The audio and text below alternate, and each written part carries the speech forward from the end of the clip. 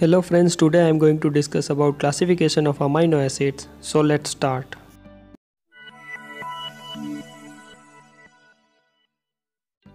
There are 500 amino acids occur in nature but only 20 of them are seen in human body. Most of the amino acids are alpha amino acid except proline.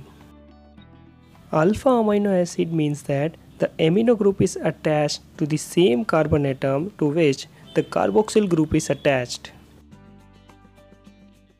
Now we will see the classification of amino acids.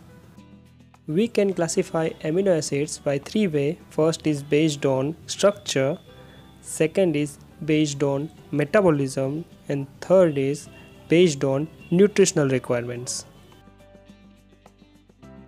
First is classification based on structure. We can divide amino acids in two way. First is non-polar that is hydrophobic and second one is polar amino acid that is hydrophilic. Non-polar amino acids further divided into aromatic and alkyl. Aromatic amino acids are phenylalanine and tryptophan.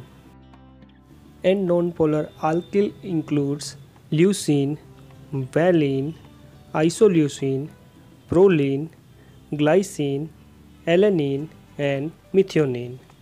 Don't worry friends, I will give you mnemonic to remember all this. These are the non-polar amino acids. Polar amino acid can be divided into three parts. First is acidic, second one is basic and third one is neutral. Acidic amino acids are aspartic acid and glutamic acid.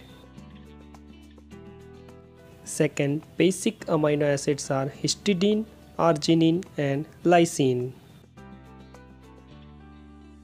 Neutral amino acids are threonine, asparagine, glutamine, tyrosine, cysteine and serine. Mnemonic to remember non-polar amino acids is Phenyl Tripathi lost VIP game. Phenyl Tripathi, phenylalanine tryptophan lost leucine, VIP, valine isoleucine proline, game glycine, alanine and methionine. It is easy to remember polar acidic and basic amino acid.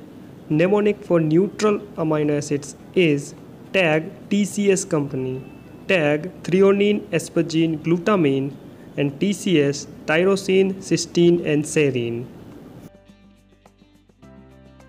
Based on metabolism, amino acid can be divided into three parts. First is purely ketogenic, then ketogenic and glucogenic and purely glucogenic.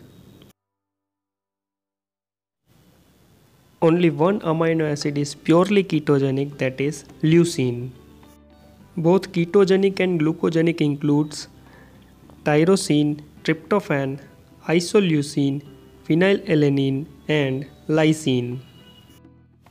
All the remaining 14 amino acids are purely glucogenic.